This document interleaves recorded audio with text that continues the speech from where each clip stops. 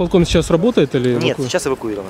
А сколько исполком еще не будет работать? Я не могу есть- вам сказать, это вопросы к полиции и МЧС. Я не, не- не компетентен. Сколько они скажут, столько и будет. А вот вопрос с ртутью. Говорят, что вот не может городская власть решить вопрос, поэтому вот прибегли к таким мерам. Не знаю, что я, что, что может Вася, это кто говорит? Вася говорит, что Да, не да, может. да. Ну, Мгм. Просто Вася хочет быстро все, чтобы сегодня принес и сегодня утилизировали. А все в процессе работы, создается положение, это выделяются деньги, это сессионные вопросы, это не так, как хочется Вася.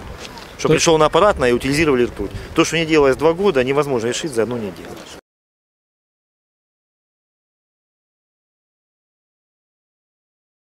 То, что не делалось два года, невозможно решить за одну неделю. То есть после сессии вопрос будет решен, да? Нет, получается? сначала положение, потому что не урегулирован вопрос финансирования этих работ. То есть выделить деньги на, финанс... э, скажем так, не проблема для городского бюджета, выделить 50 тысяч. А вот оплатить с целевым назначением этих денег, вот здесь основная проблема. То есть для этого нужно прописать положение с участием и МЧС, разделить обязанности и нашей гражданской обороны, принять это положение на сессии, потом выделить деньги из бюджета, и затем только эта ну, схема будет работать, скажем так.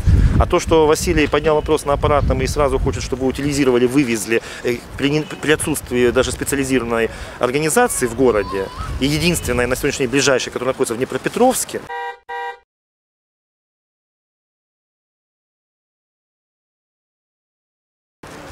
и решить этот вопрос вот сейчас, вот сиюминутно, это, конечно же, не, невозможно. Как вы думаете, до Нового года получится или нет? Нет, я, и положение получится написать до Нового года получится, а выделить средства только на следующей сессии.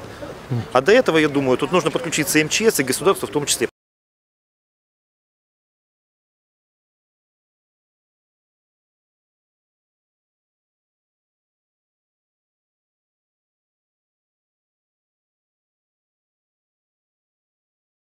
Тут нужно подключиться и МЧС, и государство в том числе, потому что эта проблема не только города. Это сегодня завозится ртуть, но мы понимаем, что раньше она утилизировалась, раньше были предприятия, сейчас они остались на подконтрольной на подконтрольной территории, которые принимали ртуть, и она везлась в Горловку, в Донецк и так далее.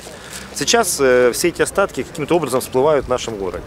Понятно, что это системная это проблема, да, но решение вот таким способом неприемлемо.